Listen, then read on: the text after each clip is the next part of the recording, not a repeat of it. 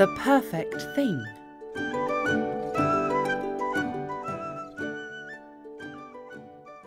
Amy was very excited. She was going to a big birthday party on Saturday night. There would be music, dancing, food, and lots of new people to meet. Amy knew she would have a great time. But what was she going to wear? All her friends at school were talking about it. Imogen and Chloe had new dresses, Sally had expensive new jeans, Kerry had amazing new shoes.